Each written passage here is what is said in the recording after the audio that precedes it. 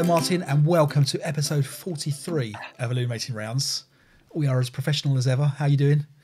I'm all right. Thank you very much, Dave. Yeah, absolutely fine. I haven't had heating for three days, and we've had a bit of a cold snap here, but the heating is back, so I'm feeling good. I thought that you lived in a life of perpetual fire anyway, because I remember when we played in front of your fire, and that was my favourite ever ASL game. I ended up with one very red face because it was so hot. well, you know, it's it's fantastic having an open fire, but what the problem with it is it only heats one room, you know, and the rest of the house of the computer is not by the fire. So Uh, yeah, is it true? Very, very cold. Is it true that like the fire kind of sucks heat from the from other rooms, or does it just feel like it's colder in, in the other rooms when? I don't know. I have read that. I've been. I've, I've read that it's a very inefficient way of heating a house because you bring it draws cold air into the house. Um, whether that's true or not, I don't know. It certainly feels warmer in the house when I've had a fire than when I haven't had a fire. It's absolutely perishingly cold. Well, anyway, more from um, Central Heating Weekly next time. Let's- I think we should talk about something else. I think we're more qualified to talk about heating our houses. you asked than- how I was. You know, and you're all I'll vaccinated. You've had your first vaccine. I've had my first vaccination. Yeah. Okay, all right. And I literally have just booked mine up where you were you were patiently waiting for me to book my one up. So the 19th of April. So we're we're we're very close to being able to play live.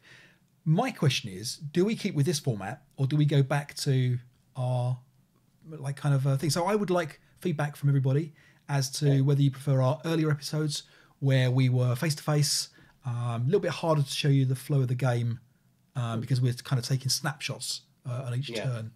Yeah. Um, but it's a little bit more personable, isn't it? And a little bit more, you know, we're next to each other.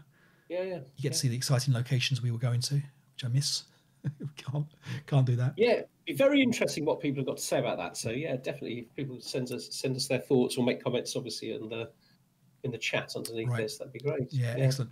Um, a lot of the tournament games are coming to a close. So if you are in the Illuminating Rounds tournament uh, and you haven't finished your game yet, or you haven't started your game yet, please make every effort to get it done this month. Um, to give you an idea, I think five or six of the games now have been completed. Uh, I know yours is done, Martin, and I didn't get to play in this one. Um, a little bit of a controversial choice. This one. This one was a uh, a patron suggestion now of which one to play, and some people have liked it and some people have disliked it. It's um, did, what did you think of the scenario itself? I really enjoyed it, and do you know what? It would be it, it's it would be it's a very interesting scenario in terms of using half tracks and uh, and, and using the special capabilities of half tracks. Right, I thought that was yeah. really interesting. Yeah, good, good, excellent. Okay, all right. Well, we'll find out more um, possibly next time when we get all of the, Yeah. the log files in, and we'll see see how that all looked. Um, Yeah. and we'll see who's in the next round for that. Um, I'm excited. I know you are, Martin. yeah, Look at absolutely. that. So, what are we going to do today? What are we going to do today? So we got so much. It's so packed. This this show so packed. We're going to talk about our top five World War II films. Yep. Uh, we are going to talk about the Seaborn assault scenario that I played against Toby. hmm Um, poor guy, you know, he's, you know, he struggles against me, but you know. It's, a- it's a service. It's a service you do for him. and we're going to talk about some very interesting guys. Uh, Dmitry, guy from Russia, Yep. who's uh, been organising something, and we're going to discuss the merits. I think. Yeah, exactly. Very good. Yeah. come from that. Yeah, And we also got we got a patron. Go on. of course. No, go ahead. No, Okay, yeah. Well, so we've got a, a Patreon giveaway. Um, so now these these items have been given away before. So now this is the official. It's too late to get these back if you if you were offered these before. These are going now. Um, we've got a couple of operations magazines. Uh, we're going to do a very uh, the commissar pack, which is out of print these days. You can't get this in print anymore for people who are interested. And we have a winter offensive bonus pack without the maps, but obviously very suitable for Vassal. Um, all going into one lucky patron. So thank you again to all the patrons that have uh, have subscribed and has, have joined us. Uh, they help us do things like this and host the archive and all the good things that we're able to do. So again, thank you to all our patrons for that. Um, Absolutely. and yeah, so this is starting to clear my desk off.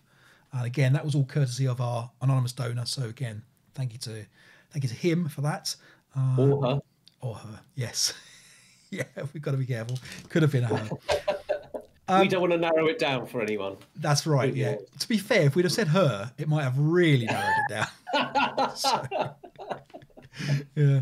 Um, Yeah. okay. So let's talk first of all about um, well Dimitri. So Dimitri got in touch. Uh, so we've mentioned him before. He was part of the. I, I'm, I'm assuming it's the same Dimitri, and, and apologies if it's not. Um, I mean, how many Dimitris are there in in Russia? I don't. Can't be many. Uh, but anyway, uh, they, they told us a, way what they're doing, uh, which is really interesting, and, and, it's something I want to talk to you, Martin, about about how we you, are trying to count the number of Dimitris that you know. I mean, so, I, I, teach in the UK, and I've taught two Russian kids called Dimitri. Really? yes, I suspect. Maybe they were both the ASL players. I don't know. Maybe, maybe. maybe, maybe. so what they do is they said that two of the guys play the scenario of the month uh, from the scenario archive, and they have a Discord channel of about twelve or so people, uh, you know, other Russian players who sit and commentate and, and kind of chat about the game. And I think that's that's a really interesting way of playing for a start. It's a really nice way, and I think we did a little bit of that when we did our Twitch game and we did our YouTube game. It's quite nice to have a little bit of commentary. The problem there is that you're always 10 or 15 seconds ahead of the chat. That's one of the Discord, obviously, is a little bit more uh, instant. But yeah. what, I, what it got me thinking about was the idea of group play. And I don't think we see this at all really in, in ASL, where, for example, you split a team up into you know three or four players per side, and not like how we've done certainly in the past, where uh, one player takes the infantry, maybe one person takes the armor, maybe one person takes the third nationality that might be part of the attacking or defending force. But actually, you play as a team and you participate as a team. So it may be that one person takes a particular lead on a turn and maybe that rotates through. And I don't think this is what the, the Russian guys are doing. But it got me mm. thinking would that be a nice way to really explore deeply a scenario? Because as you've seen, that we, you know, and, and we're not unique in any, any way it's very easy to make mistakes, isn't it, in ASL? You know, not only setting the boards up wrong or setting the forces up wrong or anything like that, but also in terms of just just getting the wrong handle of what you should be doing for a scenario. If you look at my Hatten in Flame scenario, where um where I just didn't use enough smoke at the start of the didn't use any smoke at the start of the scenario, having four pairs of eyes means that potentially both sides really do play to their kind of maximum if you can do it. And I know it's it's hard to do. So I wanted to talk to you about the idea of the merits of that what do you think mm. of that? And could you see that as a a way forward to play some scenarios as a group, as a group exercise?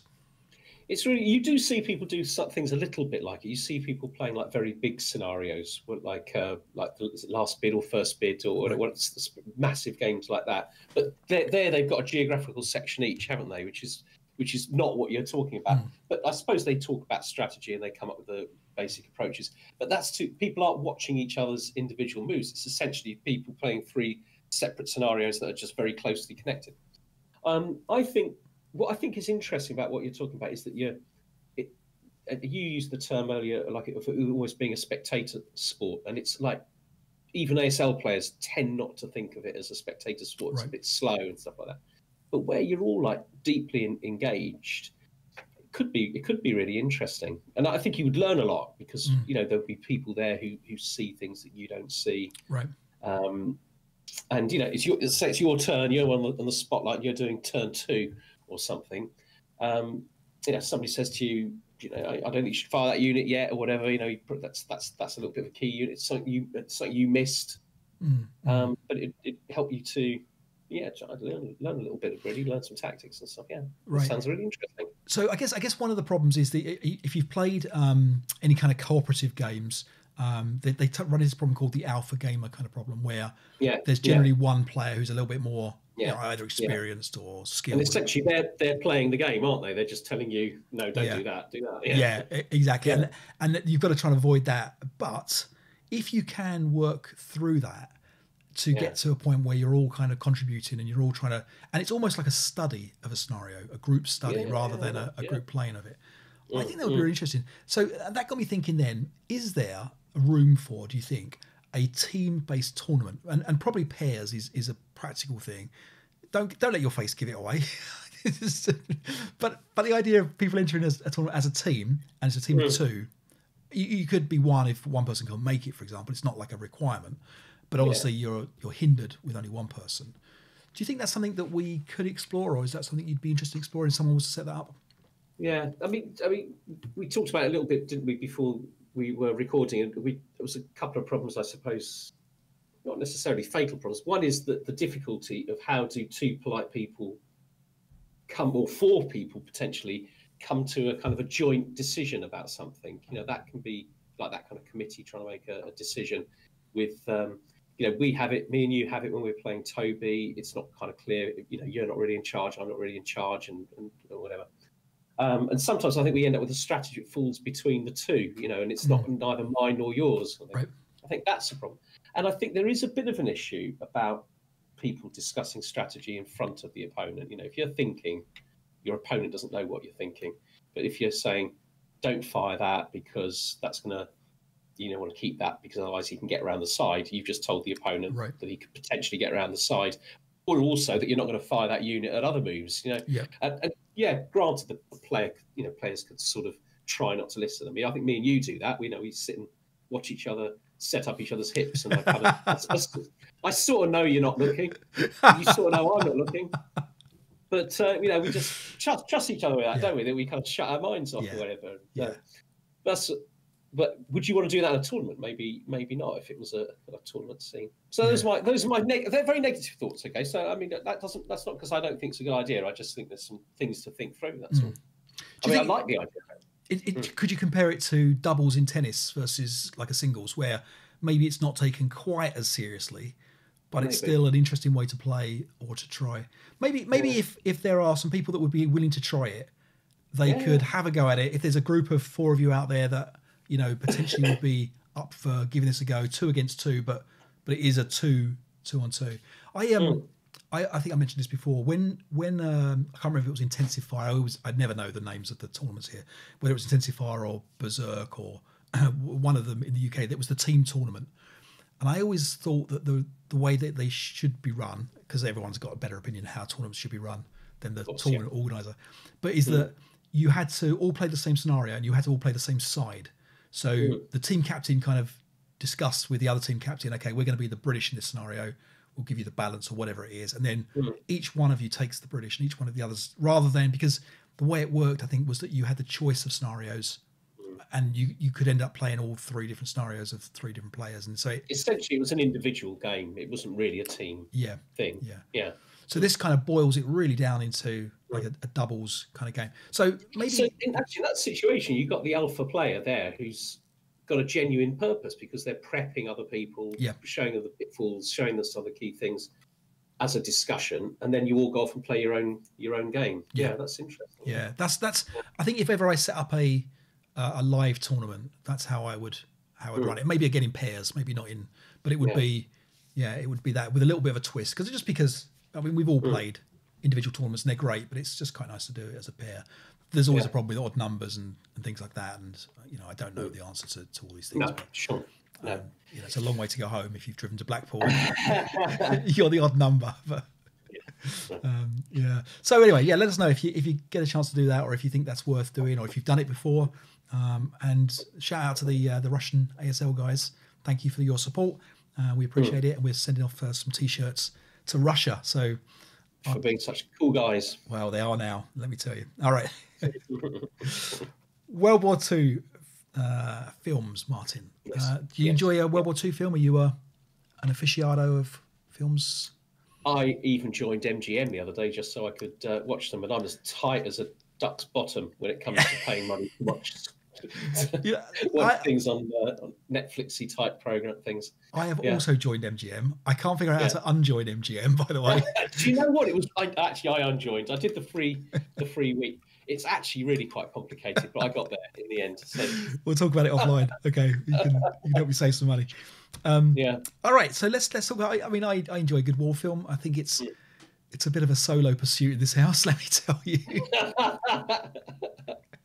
but uh, but if you can find a couple of hours yourself, so let's let's talk films now. We we've talked about these already between ourselves, and there's definitely a different theme, isn't there? You've gone you've gone kind of like um old school. old school, yeah, old school. So we're not going to wait your number five because it appears on my list higher up. So we're going to jump straight into my number five, which is a film Yes. called T thirty four, continuing the Russian theme. Um, T thirty four is a great film. Um, again, I, I'm sure it's not very historically accurate, but it was all about these kind of um, this crew of this T thirty four tank and whether they could get it up and running again, and the, the mechanical reliability problems, and if they can't get it running, they're going to have to jump on with a you know going in the infantry, and they all were petrified of being infantry, and Um, so I loved it. I, I, anything like that, I was I was really up for it. Worth worth trying to find it if you can find it.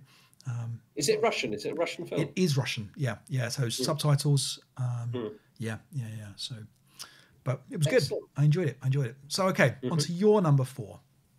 And so my number four is Cross of Iron. And Cross of Iron, I think, is based on a Sven Hassel novel, um, and it's uh, it's it's it's an oldish film. I'm sure people would find it if they looked it up. Um, and it's um, it's got James Coburn in it. It's got it's got a few relatively well-known American faces actually, but it's quite a gritty. Feels more like a German film, although I don't think it's actually a German film. It's quite gritty. It's quite brutal. Um, yeah, so I, I haven't seen it for so long now. Um, I, I, I don't know if I can go into much detail about it. Okay. But, uh, very much enjoyed it. Yeah, it, they're in they're in they're in holes in the ground, living in holes in the ground, and there's Right. uh, uh, brutal Russian uh, attacks on them and uh, and and stuff. Yeah, it's very cool. And has a squad leader kind of. You I know, there's think a it theme. does, Yeah, yeah, there's- you've got the, the title of the Cross of Iron. Yeah. Yeah, absolutely. Yeah, yeah, Ah, okay. very good. All right. Okay. So my number four is Fury. So now Fury is clearly not to everybody's tastes. It is certainly Hollywood's version of how Brad Pitt will save the war. Yeah, Um, you know, there's there's even some pretty far fetched capabilities of what a Sherman can withstand. yeah, but having said that, I actually quite liked it. I liked the I liked the tension between the idea of the tank commander not really in control of his tank crew.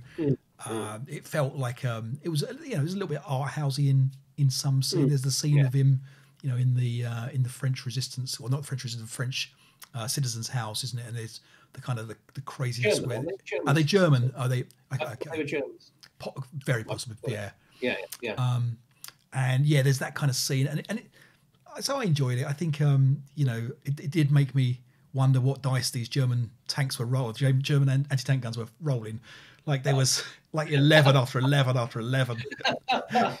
these guys, There's a, there's a scene where they attack with a Sherman, and kind of you've got the infantry uh, with them, which That's I right. thought looked very squad leader, advanced Yeah. squad leader. That's it, was that where the- the the guns are firing across the the field from Yeah, the the, the yeah. ridge line. Yeah, yeah. I mean, Yeah. I'm, I'm sure they would have hit a few. of them. armored assault. That's armored assault, wasn't it? And, and you saw the guys in the in the foxholes, and you thought, what on earth are they doing there? That's Yeah. just such a newbie error, you know. a little bit like my game against Tom the other week. where- How do I put this guy in a foxhole for? I, I enjoyed it. Um, it got too it got too silly for me. I would I wanted something that was more was a little bit more realistic, and I enjoyed that first bit for that reason. I also thought that they were. Yeah, maybe this is my own naivety, but they were insanely brutalized, weren't they, by by their their experiences in war? Um, and what I've read is, you know, Americans were quite, you know, treated Germans civilly, you know, civil civilians in quite a, quite a decent way, Right, and yeah. that they, they, they were nothing like as barbaric as Brad Pitt's men Yes. became. Yeah. So um, I'd be, I'd be, yeah. uh, It, there's no, there's no single truth, is there? Obviously, I dare say some people were awful, but Yes, um, yeah. just seemed exaggerated. But then, Yeah. do that to good. And I I mean, there's the there's the crazy scene, isn't there, with the the turrets traversing and the you know the Yeah. tiger trying, you know. But having said all that, I I enjoyed it. I, Yeah. I it was I, it was a good fun. Anyway, anyway, okay. Number number three. So number three for me, so it's definitely going old school now, is Bridge at Remagen. Now, uh, Remagen, I believe, is the first bridge that the Allies captured over the Rhine, um, and it's it's very squad leadery. I mean, it is a battle for a bridge, and um, and uh, but um, but yes, it's very exciting. There's lots of there's lots of fighting. There's lots of tanks rolling rolling into things. It's a very old film. Must be must be 50s or early 60s or, or something like that. Um, and it's it's got this kind of slightly sort of manic pace to it. You know, they drive everywhere incredibly fast and stuff like that. And I think it was a bit like that. You know, people led leading these sort of like very very fast. You know, they get orders like you know, just you just got to get to Remagen before the Germans blow it up, kind of thing, and just tearing down the road. They all seem a bit insane. It's um, it's good. It's Right. good. Okay, okay. I'm gonna gonna check these out. Uh, Check my it number out. my number three. Uh, more Brad Pitt. I must have a saint going for him clearly. Um, Inglorious Inglourious Basterds. So Glorious Yeah. Bastards, Quentin Tarantino's, I think is his best film, but I mean, you know, you could argue that there's there's a couple of good ones in there. Um, Sure. What a what a good film. The, the opening sequence, the the Jew hunter guy is incredible. Um, I read something about the fact that I, I don't know the guy's name, but the, the the the stunning actor that he is, and he's got this perfect French, German, English accent. And I heard that he was pretty much unknown. He'd just come on the scene and was just this incredible character. And he really, you know, he steals the show. He's a proper steam sealer. Um, so you know, it's a cra- It's got a crazy ending to it. You, you've seen the film, Martin, or you've, you've watched? I think I have done. Yeah. yeah. Um, but it was, you know, a different take on a war film, and, and certainly there's some throwbacks to kind of old war film kind of scenes and and new style kind of Tarantino esque.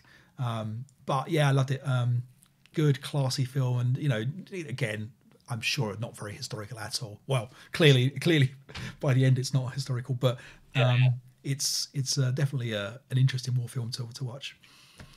Number two, we have the we same. agree. We did have the same. Yeah, we had the same one. Go for it. Classic epic, A Bridge Too Far. Absolutely. Yeah. Yeah. based on the novel. Uh, not the novel. It's a it's a sort of historical book, book isn't there?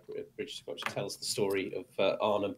I think of all the films about the Second World War, this is the closest to a history lesson. Mm. It's it goes everywhere, doesn't it? You see a bit of all the different air landings. You see you, you, know, you see thirty corps.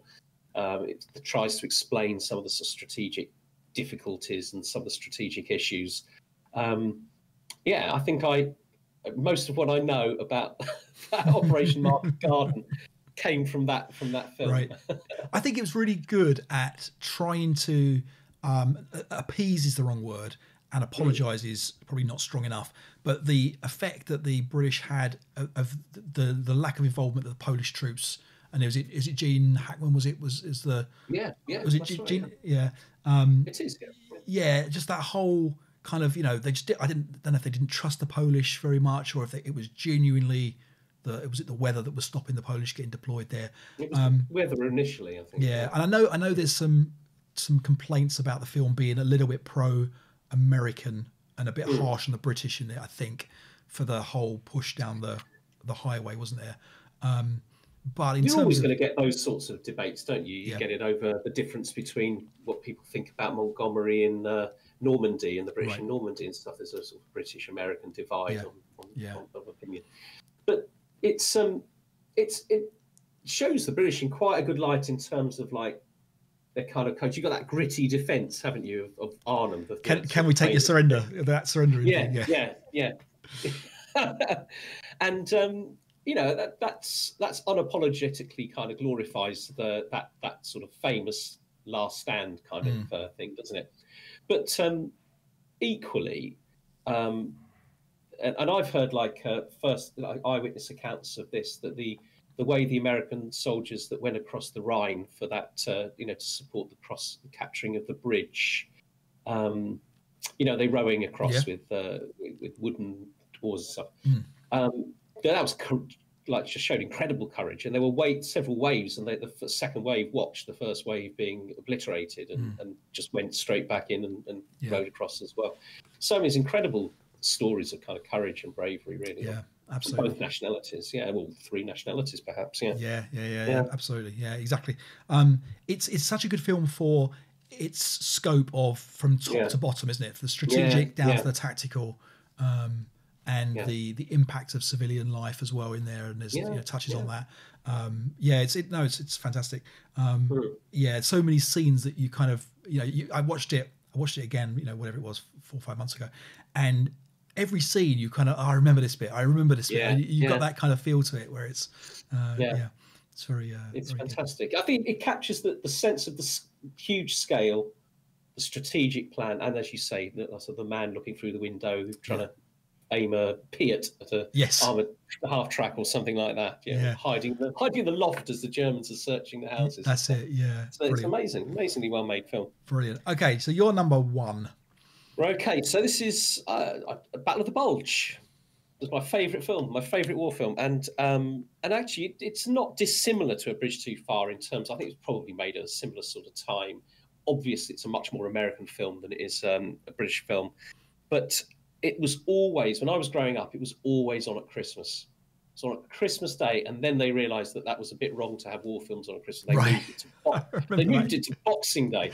I mean, just 'cause it- so we used to we used to watch it every Boxing Day. So I think I associate it with like chocolates, uh, being allowed a sneaky little bit of wine, Right, um, you know, right. that kind of stuff.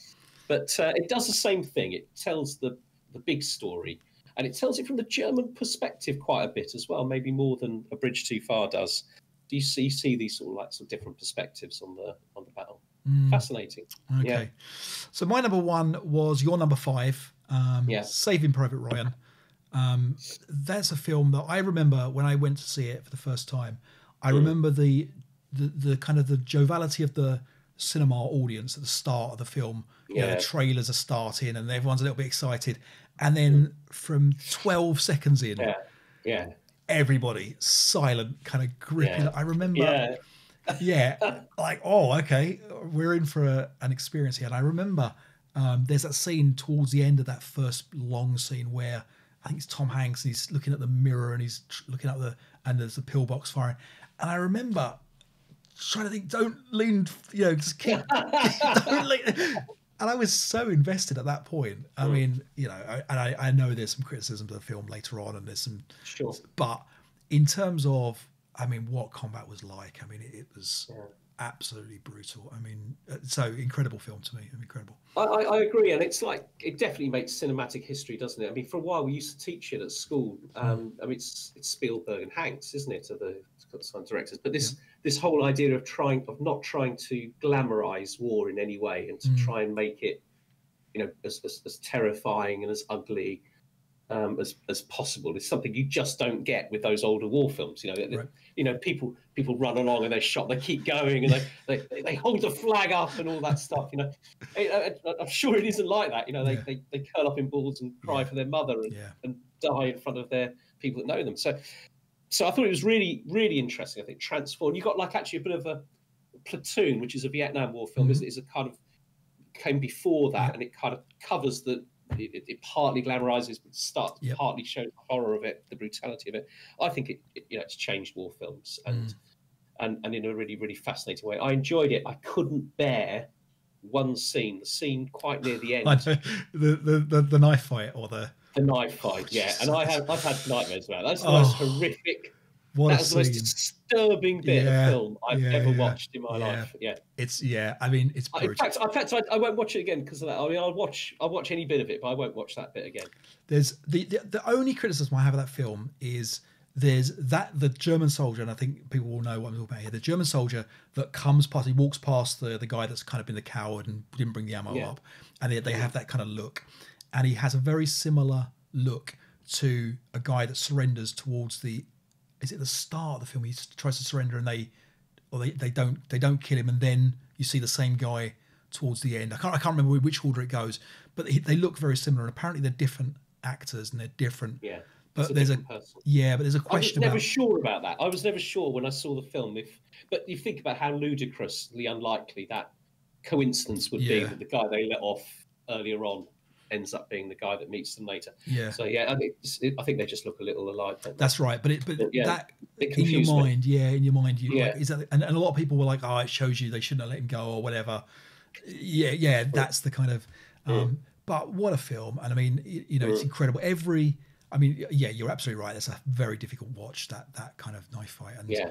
you know, it, it's a little bit spoiled, I think, by people who later commentate, "Well, this would never happen. You've got to Yeah. jab him in the eyes, or you know, this would." But oh, it's it's horrendous, and oh Yeah. yeah, I mean, for It's all involved. Moments. I mean, it's it's tens, it's just one squad, isn't it? Really, that you. Well, I mean, I suppose it's a, is it a platoon? We've got a captain in charge. I suppose it's a is it depleted platoon? I- I'm not sure. know, It's only a handful of men, isn't it? It's like a squad. And they um, there's a few ASLE moments, in fact, where they take that prisoner. You've got that uh, kind of assault on them. You've got a machine gun, haven't you, with a half squad and being attacked by it. So, Yeah, It's I cool. remember on the on the forums after that film came out, someone listed all of the elements of ASL that were in there, and it was huge. Mm. It was you know everything from street fighting to interrogation Yeah. to that's true. That's it- true. There was a whole list of them. Yeah. Um, you could The um, oh, what's the what's the name of the Canadian guy that Dorosh? yep, Michael Yeah. Rush. Yep. Michael Dorosh, yeah, produced the uh, the book of how to be a scenario designer. Mhm, Not mhm. obviously not the Cabbage one. They both produced books, very different books. In the back of that book, he shows you how to design a scenario from start to finish, and he uses the final battle scene of Saving Private Ryan as the battle that he's recreating. Okay. And so there is a scenario Mm. of sorts, um, and it's quite interesting seeing how he sort of put it together. But uh, Right. Yeah. yeah, Uh, it's it's a great film. It's a um, great film, great film, no doubt about that. Gotta gotta have some shout outs to films that I kind of wanted to talk about and, and, and won't. But um, to Hell and Back, the Audie Murphy one, I think it's an excellent Mm. film, given that Audie Murphy plays it himself, and that's that's a great film to watch. Um, and War of the Rats as well is another Yeah. um, is another one, which is And the- it's based on scenario, isn't it? yeah, and and and I always get them confused. There's Enemy at the Gates, and, I, and Enemy at the Gates, I think is I'm going to get this wrong Sniper around. one with yeah, Jude Law. that's right. Yeah, so there's That's good. yeah, and I think that's based on the book Yeah. War of the Rats or something like. But anyway, there's there's those which are which are And then there's Stalingrad. Well, Stalingrad is the German film. I think that's an awesome war film. okay. Okay, yeah. Yeah. These are Very we, nearly made on the list. we have to have a a war film session when we're all able to get back and and see each other again. That'd be great. That'd be really great. And do you know what? It'd be nice if people could tell us, perhaps maybe some non-English. I mean, Yeah. we have mentioned Stalingrad, which is, a, and Yeah. you mentioned T34, but there's there's got to be a lot of great films that me and you don't know because Yeah. they're they're in Italian, for example. Exactly. Yeah, Yeah. absolutely. Yeah, we, we're fortunate. So yeah, give us your top fives if you if you Yeah. don't doubt we've missed hundreds that we should be watching. Mm. And um, yeah, excellent. All right, good stuff. Okay, so you took on the challenge, Martin, of playing. Toby alone Yes. without my help. So I mean, we know how this is going to go, but so you took on the challenge to play Toby on a beach landing. Um, Toby loves beach landings. You love beach landings. This is a, a match made in heaven. Uh, you decided to play When I Call Roll, uh, Yeah. which has a fairly unbalanced record. Mhm. Uh, let's let's take a look at the scenario.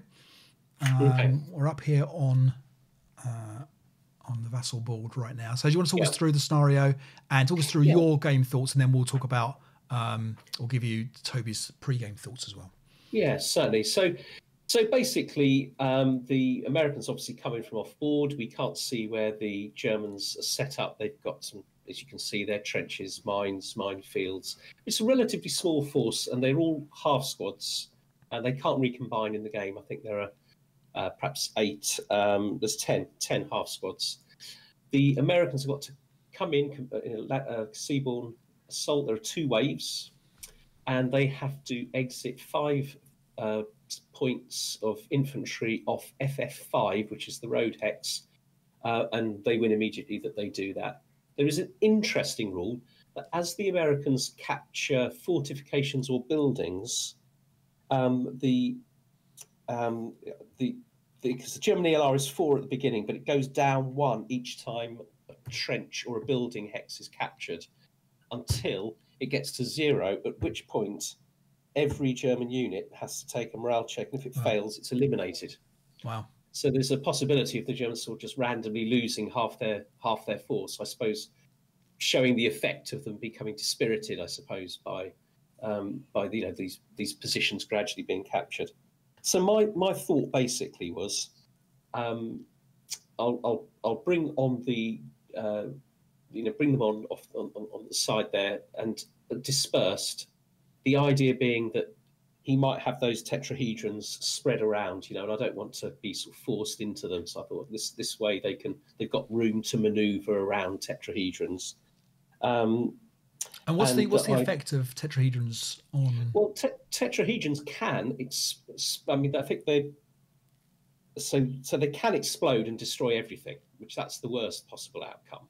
Um, that's reasonably um, unlikely. I was going to remind myself the rules just before we went live, but I forgot to. Um, but they also, um, you know, just just hinder the movement. And So you can you can go over them. They're not like a I complete. think that that's right. You can go over them. You got to you take a they you know they'll roll a dice.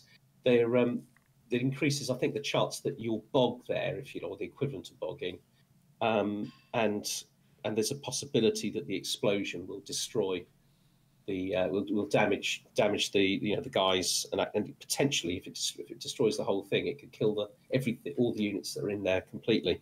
So I thought that was quite risky, and I was going to hoping to avoid them really. And you'll see that I think that I might have made a mistake actually uh, by avoiding them too much. You'll see as that as that comes on. But my idea really is that the, the first wave will will land, and we're going to be trying to throw smoke because the Americans got good smoke. Trying to the units that have successfully landed are going to be trying to throw smoke, and they're going to try to make it a little bit easier for subsequent guys to to come off.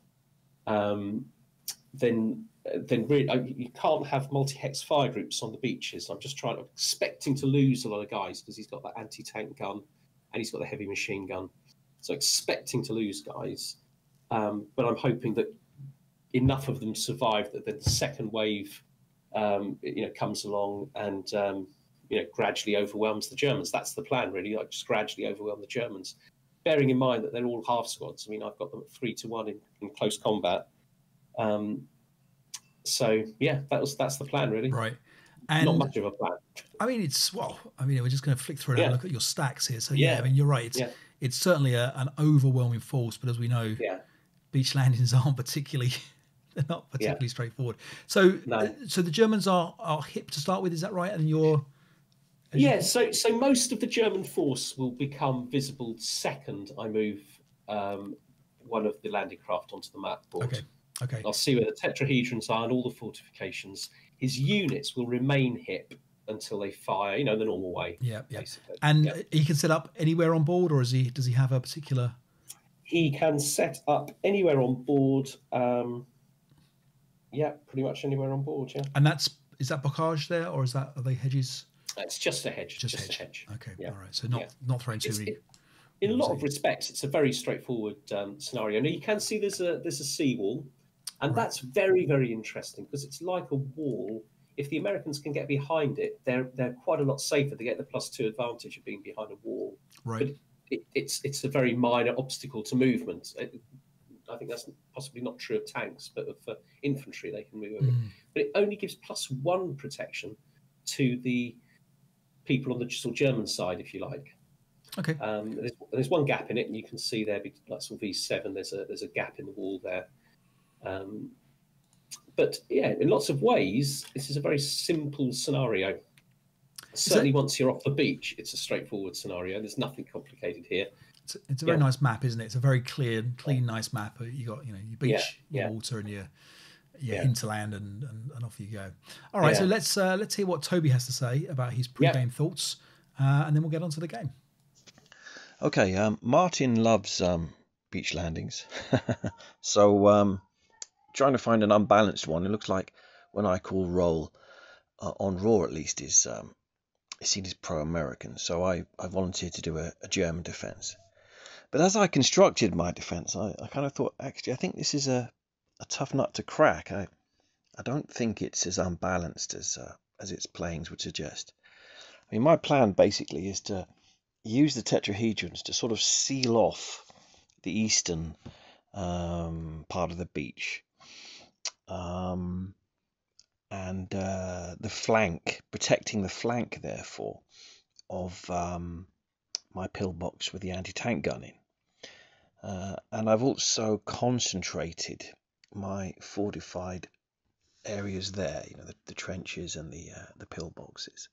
So they're protected by the tetrahedrons. On the other flank, the western flank, I've mined the woods and put wire um, out of line of sight um, in the sort of rear areas there. Um, which basically means there's a sort of uh, roughly six hex wide open gap uh, off the beach um, towards the buildings, and that I aim to cover with as much fire as I can muster. So that's the plan. I mean, I've put the heavy with the light because I quite like um, lashing out with 8 firepower instead of 6. Uh, also because the residual goes down to 4 instead of uh, instead of 2. Um, but I guess that means I'll forego the, uh, the light machine gun firing on its own most of the time. Um, and the plan is basically to to stop him winning by getting um, the um, all my fortifications uh, to, de to delay um, that crucial PTC test when uh, he has to take all the buildings. I, I don't think that's going to be an easy uh, task for him. And to basically ma make his win depend upon um, exiting enough men. Um, that's the plan. We'll see how it goes. Okay, so according to Toby, it's all about his tetrahedrons, and you've been looking Yeah. up some rules as well, Martin. So Yeah, yeah, yeah. So I could correct myself a little bit from earlier. The tetrahedrons are, are not a problem for movement. What they do is that on a it's a little bit like tanks going over anti-tank mines. On a one, the landing craft is destroyed and everybody in it is dead, KIA. Um, or on a two, the landing craft is destroyed, but the uh, the guys on board survive and they can wade in. right, right. So it's uh, it's it's a it, it, it's it's you know most of your landing craft will make it, but it's quite a big cost for the ones that don't. And so that's a bit like an anti-tank mine, I guess. For I didn't realize they were explosive. I thought they were just the like the. Yeah, I think there are types without and Right. types with. But Okay. yeah. Yeah. All right. Okay then. So you were clearly confident going into this. You know the. I felt good. I felt good. Yeah. Okay. Now you did you do any reading up of landing craft rules? We've we've played landing Yes. craft before. You- Yeah, yeah, yeah. So I, I knew the rules when I started playing um, the other day with right. um, Toby, and um, and I think I've got I've still got them, so I can explain things as, as we go along. Yeah, I okay, go for the it. most part. Yeah. Uh, very very simple. They, they're they're like vehicles. They have got four movement point. These ones you can see that's the top right, and they move one hex per uh, for for each movement uh, Right. point. The the the thing is that once they get to that lighter ocean, that's uh, shallow, and they have to do a bog check. Most of the time, they're going to pass that. It's it's like a, a, you know, eleven or twelve or something like that. Would uh, yeah, it's it's actually a twelve that, and they run aground, but you've got a plus one on those landing craft you see at the top there because they're quite large. Mhm. Well, they're very large. In fact, it's one of the key problems for the Americans. Really, is that there are potentially nearly forty guys in each of these landing craft, and they've all got to come out into one hex. Right. Um, at the end of the game, Toby did say they can spend half of their movement instead of a quarter of the movement to get out in the in the hex that the the ramp has gone down on. They can pay half their movement point and get out in the ocean hex, essentially climb over the um, over the sides of the of the boat. And by doing that, of course, potentially avoiding the uh, the residual that's Okay. in place from the fir- yeah. So anyway, All right. Okay. Onwards. onwards here we go okay so okay so here we go I'm, I'm by the way you can all see the americans on board these landing craft but toby couldn't because of the way we played. So normally you'd have these um, you know on that sort of The cloaking. divider Yeah, the cloaking device. cloaking yeah exactly yeah. But we could we can see it but toby couldn't because of the way that we played. Anyway Right. as soon as um, as soon as that's on he's putting out all of the fortifications. And this is where i think i make my my first mistake.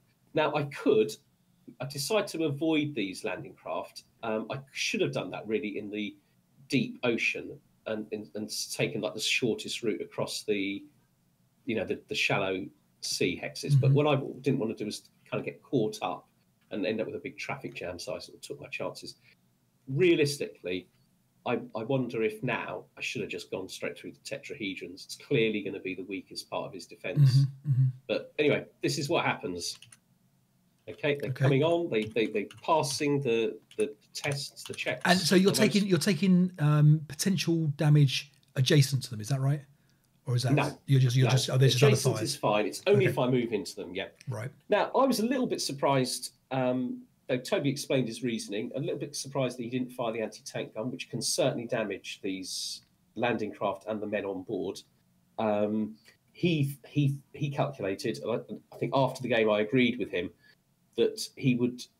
It was going to be more damaging having that fire at them when they were trying to get onto the beach, and that you know taking these less effective shots simply he risked malfunctioning Right. it, Right. Right. and so that was his his calculation. But um, I, I make it to here now. I've spent four movement points. They can't unload. Okay. Okay, so that's uh, they need you know a quarter of the movement points left in order, just like a Right, vehicle, I suppose. right. So they're just sort of um, they're just sort of stuck stuck there, and they can't advance either. hmm Um, you know, just like a vehicle, you can't advance off uh, a vehicle. You can't advance off Right. the landing craft either. This one runs aground. hmm See, I rolled an eleven there, um, and um, essentially, I think suspect that's the end. That's the end of my turn, isn't it? So it's now the uh, German turn. Oh no, it, it- the Germans didn't do anything. I think so. It's now Allied turn too. Right. Okay. Yeah. It's one So of those the- games where yeah. Yeah, yeah. Uh, uh, and why would he? You know, anything that he does is simply going to reveal Yeah. um, reveal his units. Um, Uh, so I, I line up my, my second wave. Now, interesting there because you you don't get concealment for units inside a pillbox. Um, No, so this is special a special rule. This is Right. SSR. Everything begins um, hip. Right. So, but I was just wondering whether because because he he doesn't get the advantage of having halved fire Yeah, against him inside a pillbox. yeah. Why wouldn't you just fire? Because presumably you know there's something in a pillbox there, so you're gonna be firing. I suppose so. Yeah, I suppose so. But- Well, the, the only thing that he could fire at in his turn would have been the armored targets of the landing craft. Right. Um, and he calculated that it would be better for him to wait until the, the bodies came out of the armor protection, I Right. suppose. And can Yeah. the can the passengers of the landing craft fire back out at the pillbox, for example, No. or is that that's No, not? no, not at all. So, so the um, the landing craft themselves can fire, but you can see it's got one, two firepower um, bow machine gun. Now that's got to that in most instances that's quartered because it's always in motion, etc. But once it's beached, uh, and these I think are, are beached, um, he can they can fire at half Okay. firepower, but it's still mounted fire, so it's very unlikely to be effective. Right. Right. Right. Yeah. Okay. Okay, so it's my turn again. So, so uh, right, this this guy, right. So they they weren't beached. So actually, they were at sea. The only one that's standing still is the one that's aground. They weren't beached. They beached for the first point. The second point is this six Right, I'm with you, six six getting out, and of course, immediately the heavy machine gun appears, Okay. and we'll start to see. The, uh, the, the the firepower. I think it, uh, it it lost rate of fire, but it kills almost everything else that comes off with the residual Okay. uh, one half squad makes it and moves up the beach. Okay. I thought I might as well keep moving these guys because I want, you know, find out where things are and get them to fire, especially as it's a half squad. And this But is I had a, sorry. yeah, go on. I was going to say, is this the one where you don't break on the beach, you casualty reduce instead? Is that Yeah, exactly right. Right. So it's so you see those those were breaks, those two, three, four, sixes. Right. You have got an increased morale on Okay. the beach. You're fanatic on the beach. Mhm. Um, but it did occur to me that in reality, I'm sure that on D-Day itself, and this is a D-Day scenario, the the troops that were sent to, Bu- you know, they were sending troops that were very, very specially trained. I'd be su- surprised if six morale first line American Right. infantry best represents them. But Yes. you know, the, the scenario is what it is. Yeah, yeah. Um, yeah. yeah. Okay, so so that's that's that's that one unloaded, I think, and it goes into reverse motion.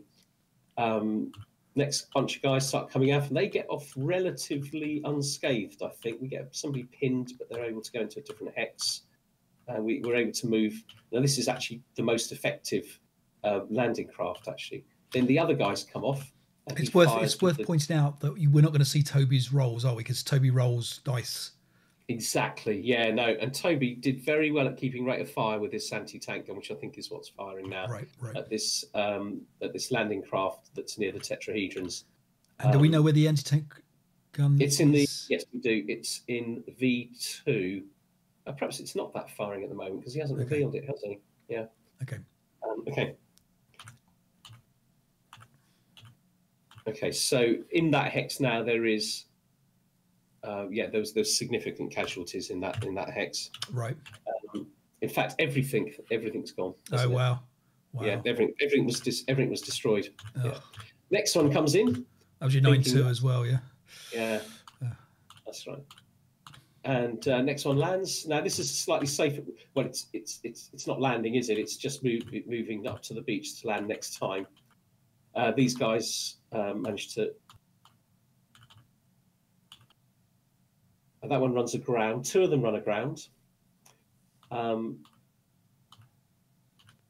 I'm not sure why to move them off. I think I'm not sure why I moved them off, but I, I think it's just to clear up the the map a little bit because Right. they're technically not on yet. They'd be Okay. on that cave divider. Right, right, right. Okay, so we start to see some German units being revealed, and he takes a few shots. We see we've got one guy up at the seawall, which was which was quite nice. Mhm. Interesting. There is a significant group with a medium machine gun with the 8-1 and the bazooka too. That's a sort of significant group there. I'm trying to build up a some sort of um, fire group, if you like, to try and help the other guys get off Mhm. the beach.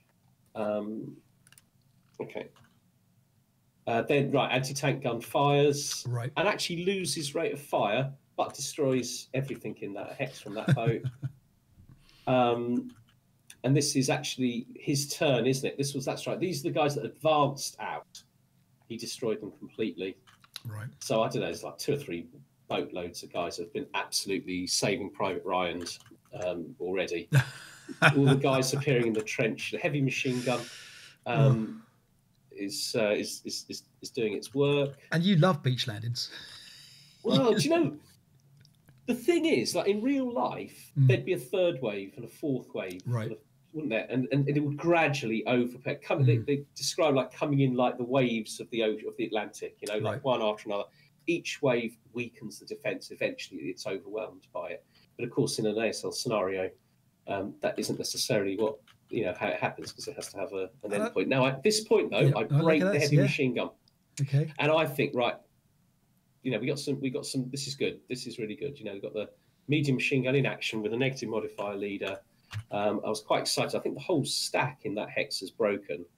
Right. And you begin. You, Yeah. you, I've got a wall advantage. Now I want to go into close combat and start. You know, um, Yeah. but you know, he's he's he, he's going to have another half squad in there, isn't it? So I've only got a half squad. So if I'm going into close combat, I'm not. I haven't got an advantage. So Right. I'm kind of waiting really for to have a little bit more strength up there. But a lot of guys um, making Yep. it to the seawall. Yep.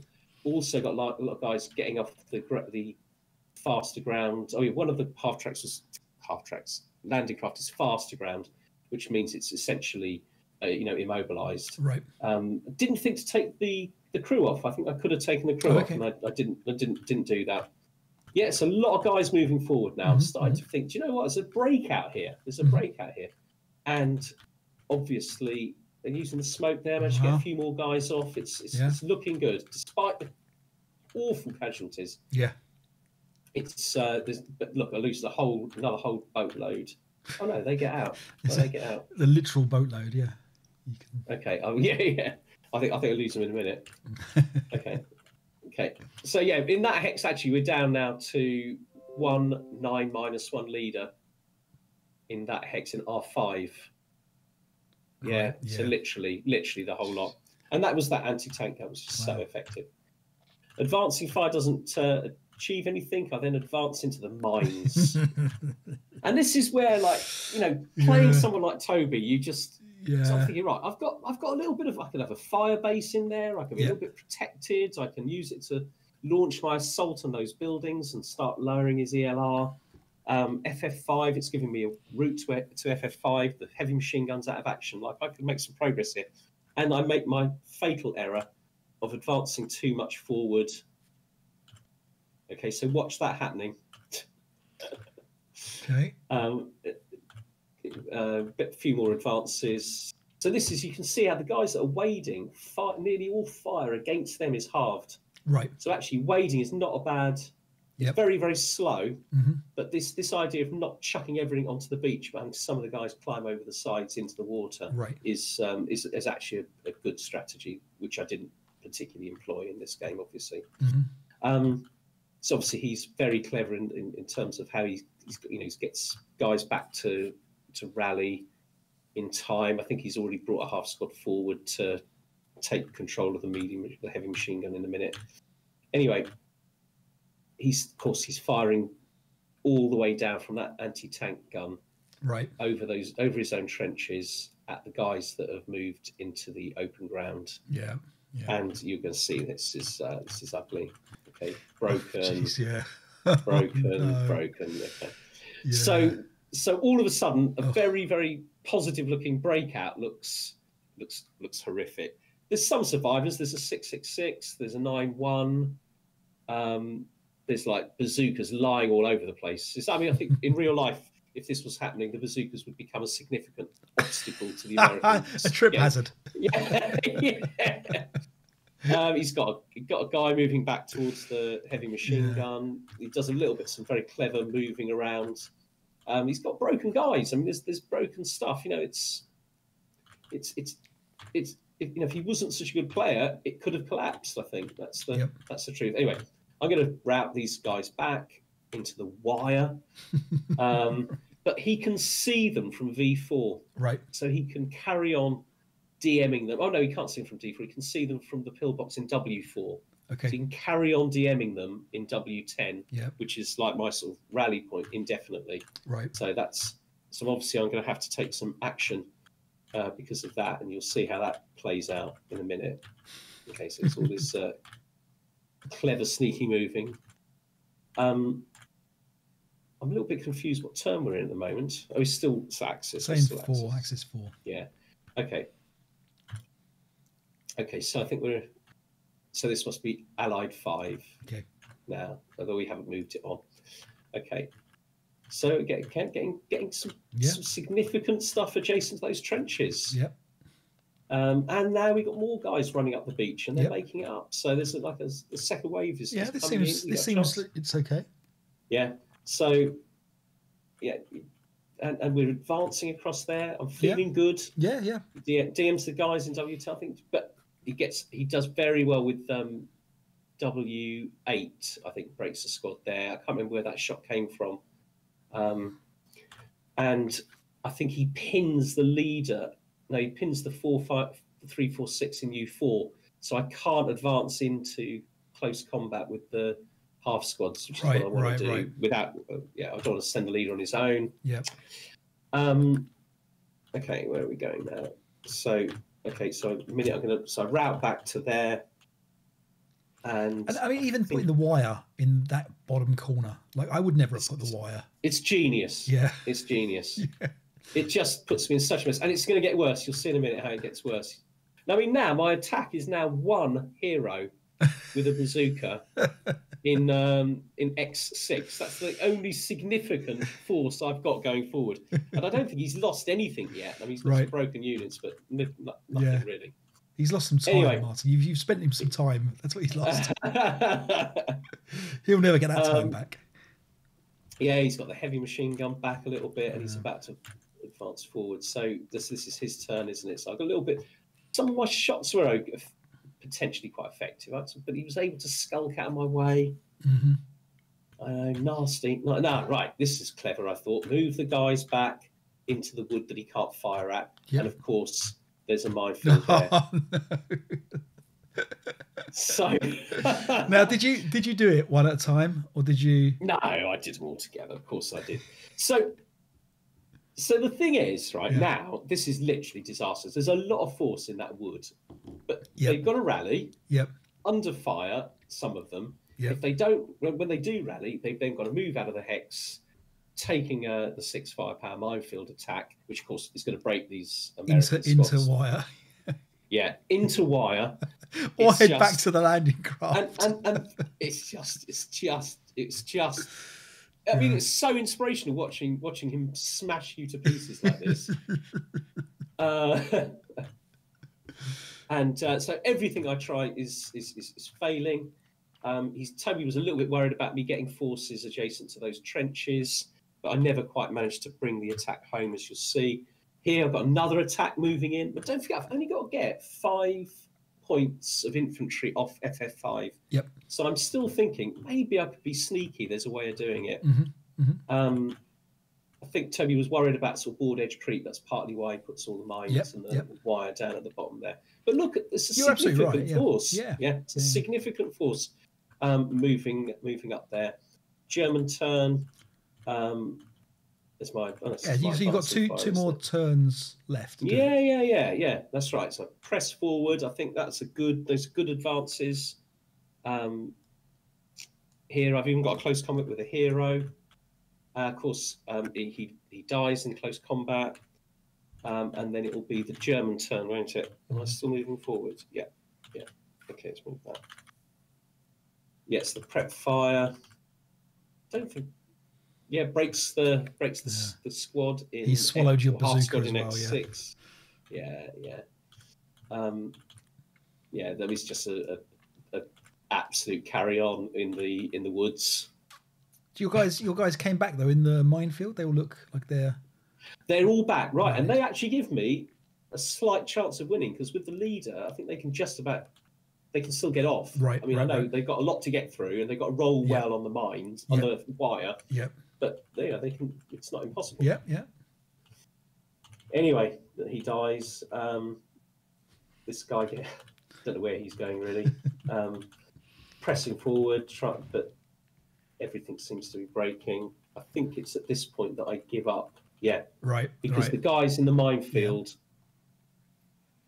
yeah, break. Yeah. Yeah. and I need those points. That's right. Right. Because there's two turns. They could theoretically get off FF5, Right. Right. Right. um, right. but um, that that makes it impossible. In fact, that's right. The guy in Z8 was trying to move in the open in order to get into a position where he'd be able to get off next turn, So, assuming Toby didn't fire it. so I see one broken half squad there. Did you did you do any other damage to his troops? Yeah, uh, so I broke quite a few things. I broke the heavy machine gun, and there were about three half squads in that hex Right, at the right. time. So, you know, that's why that breakout looked kind of quite hopeful for Yep. a moment because you know he did actually kind of collapse a little bit. There was uh, there was only like one half squad left, but you know you saw me trying to take advantage of it by. Yeah. the, I should never have multi-stacked the hexes. I mean that was just a mistake, wasn't it? But um, you know It's that was that it's was, easy to do, isn't it? When you're disheartened by Yeah. a, a big defeat or a big setback, yeah. you think, "Oh, God, just just get back," and and Yeah. suddenly you're punished again. Yeah, yeah. Oh, it was it was it was brilliant. And do you know what I thought, and and to, well, Toby thought, and that with the way that it was set up, that he'd set up, it wasn't hugely Yeah. um, skewed in favour of the of the attackers. Yeah. And in fact, like you know, fair play to MMP. This is a really good scenario. Right. Actually, it's in some ways it's very simple. Yeah. For, as far as you know, once you've got your head around seaborne assault Yeah. rules, it's not a complex one. But um, but that's a very very clever scenario. I think I should, with the second wave, I should have gone straight through the tetrahedrons, hmm outflanking the anti-tank gun hmm um, the heavy machine gun, as it happens, um, the, the the crew manning it broke. Right. So for a little while, he'd have just had his little half squads yeah. against against the swarming American force, and um, you know I could have got into close combat with that um, crew, whatever. Mm, mm. I think that's what I should have done. And if I'd have lost one, Yep. it wouldn't have been as bad as how Yep. many I lost Yeah. Yeah. entering under the sights of that of that gun. Right. Exactly. Um, exactly. Yeah. Well, let's hear what Toby has to say about the end. Yeah, and um, let's uh, yeah, let's catch up from him. Oh well, that um, game went about as well as I could possibly have, have imagined. Really, um, the uh, the tetrahedrons did uh, dissuade Martin from uh, from blasting through them and just taking his chances, um, which meant that that uh, landing craft couldn't beach as quick as the others. He had a couple of um, bogs or, or, or landing craft becoming grounded. So um, I suppose the the men inside them um, leapt out uh, at different points, and I was able with um, you know um, good fire and for the anti-tank gun and the, the heavy machine gun primarily, and the uh, residual firepower they were putting down to really shred those uh, Americans coming on. The minefields took their toll. Um, and uh, the, the the area between the, the open ground really did become a rather a, a killing zone. Um, so yeah, the plan the plan worked. Uh, to put it bluntly, I suppose it did make me think that perhaps what um, a, a good tactic for the Americans to do is to, you know, the first unit comes out as the ramp goes down, and then um, if the uh, Germans shoot at it and lay resid down, perhaps just as in the uh, the film, you know, Saving Private Ryan, the rest of the Americans just leap over the side of the landing craft. Okay, it takes half their movement points, but um, they avoid crucially the residual. Um, I think that makes sense, and perhaps also, I think there is an argument to um, to use them en masse, you know, for all together um, and perhaps wait until the second wave landing craft have also beached, and then basically unload all the landing craft, seven or eight, however many have managed to not get grounded, and load them all at the same time, and thereby reduce the uh, the amount of shots, good shots that the uh, the Americans can can have. And sure, I suppose you lose a turn of movement with the first wave, but um, I think you've got you've got a decent amount of time in that scenario. Um, yeah, perhaps perhaps that's a, a useful plan to use. But I think against a you know a, a cunning German defence, it's no walkover for the Americans. Um, it, it, the mine placement, well, everything everything is key. They, they haven't got a large force, the Germans, um, so you have to be very careful how you place your units. But um, anyway, my my placement worked. so, uh, but it was a good game.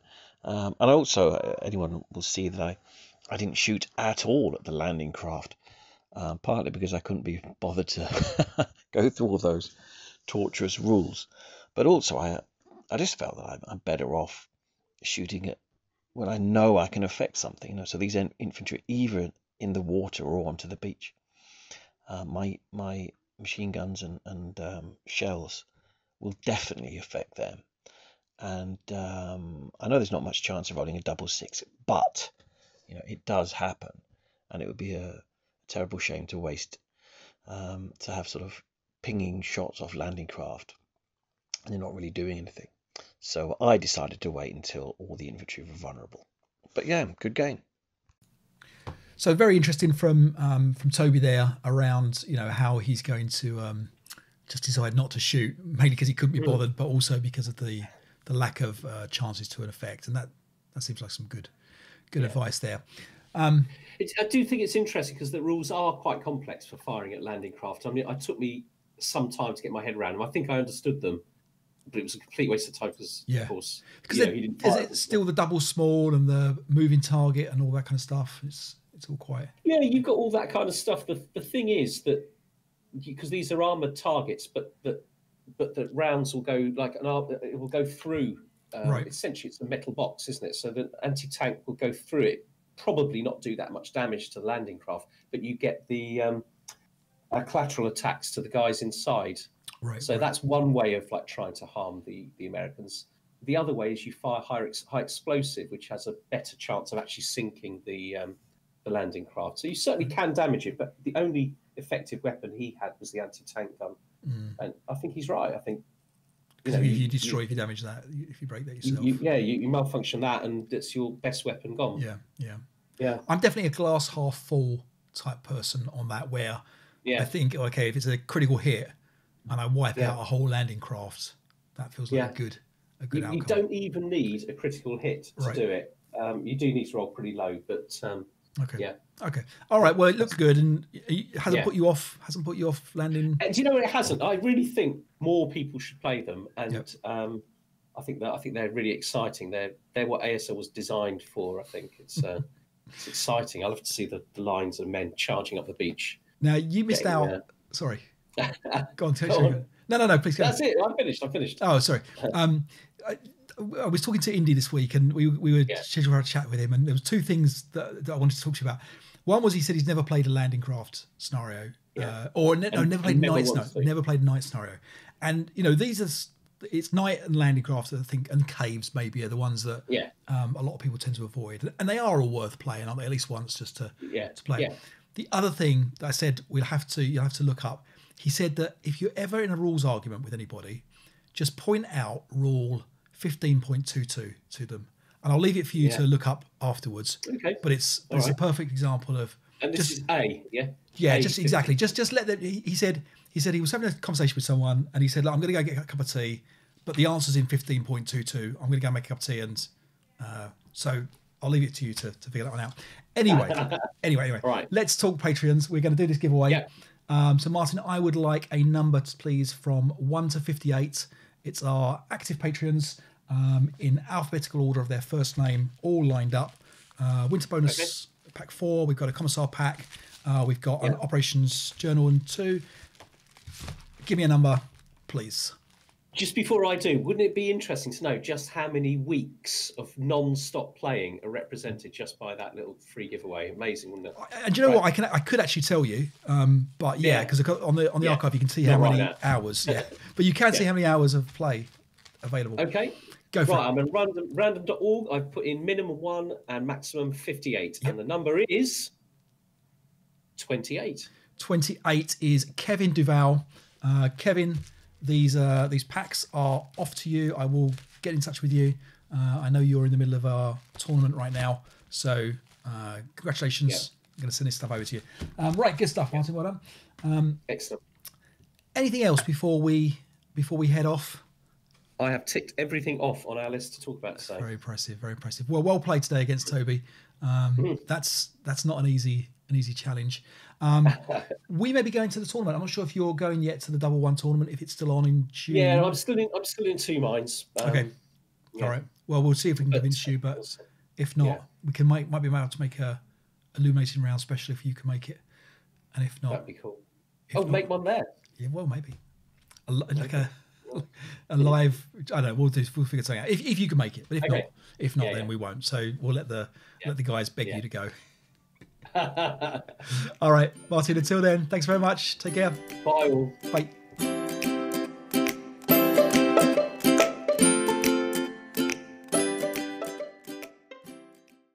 Okay. Oh wait, I hadn't pressed. I pressed the wrong button.